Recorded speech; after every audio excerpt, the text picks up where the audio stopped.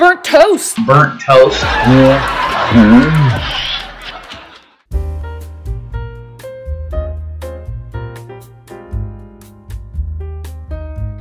There's something going on, and people are believing that Steve McRae created the great debate community here on YouTube, and it's a lie. It's a big lie. You know, if you want to know when the great debate community was created, it was back in 2007.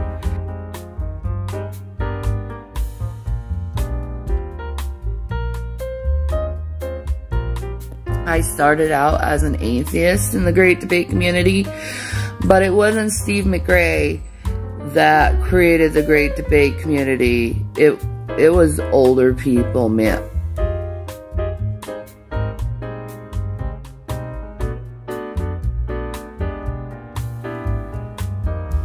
Um,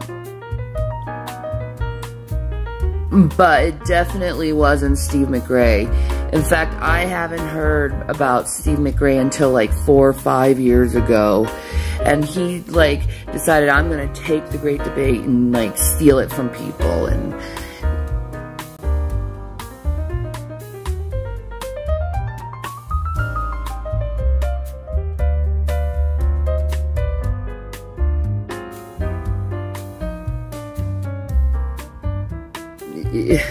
I don't know why he leads people to believe that he was the one who started the Great Debate community.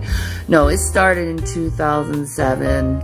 Um, I was one of the members of the original Great Debate. Uh, Steve McRae wasn't even there. Wasn't even mentioned. No one who knew who fucking Steve McRae was at that time.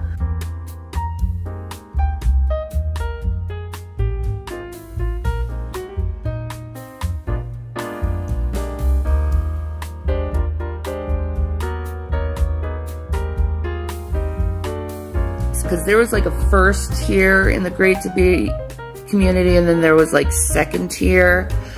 Um, I was part of the first tier, but then again, I was I was involved with YouTube since its conception. But I, I mean,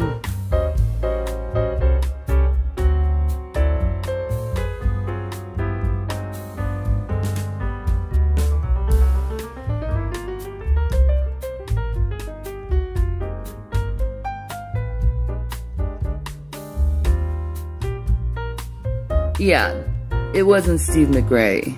It definitely wasn't Steve McRae. And if he's leading you on to believe that, he's a liar. And, um, you clearly have not learned your YouTube history.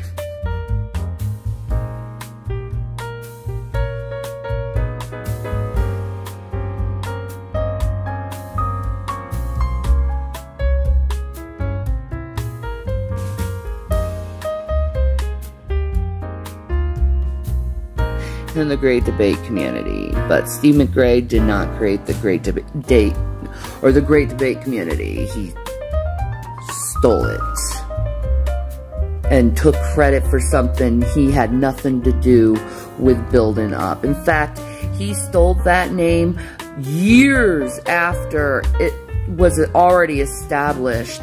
Few years, five, five, six years. The Great Debate community was already established before even Steve came in.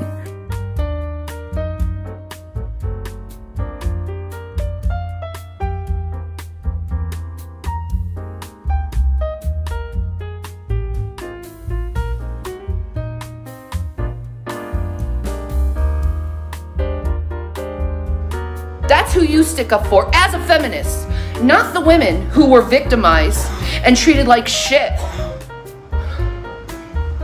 aka Steve McRae's girlfriend. You're an asshole.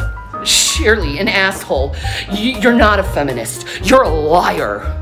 Because if you were a feminist, you would be sticking up for the woman. You would be telling that fucking Nate Broady to shut his goddamn mouth and to let the woman be free and speak how she feels about her own fucking assault. And not, not, oh, I'm down it happened because it Fucking piece of shit, Nate Broady. I hope you get COVID, Nate. You rape enabling piece of shit. He just took the name and ran with it because he's an asshole.